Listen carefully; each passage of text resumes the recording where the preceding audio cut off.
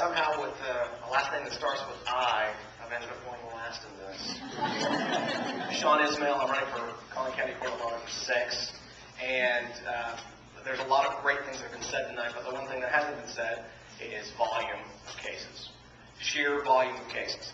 What you are looking for, you have an opening, all right? We're not phasing out these courts, and you're looking to get a judge up there that is going to run the courts. We either run the courts well, or we pay for more courts later. That's just the way it works.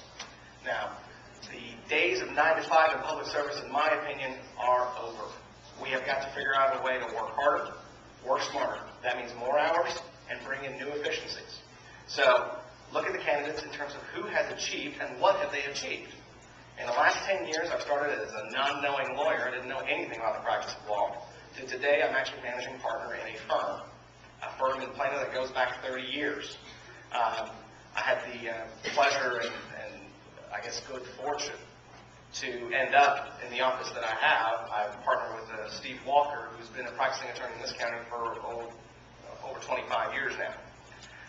In these last 10 years, I have tried every type of case imaginable, everything from Class E tickets all the way up to capital murder, and we've actually taken them to a jury. I've also tried every type of civil case imaginable, everything from small claims all the way to IT litigation.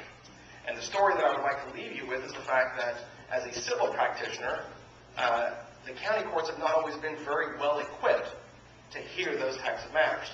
You need somebody that can manage the cases that are being filed, which means that you're going to have to have a lawyer up there who wants to do this job and wants to hear these cases.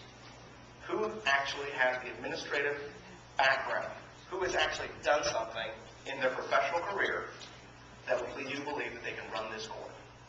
Shawn Ismail, I would love your vote.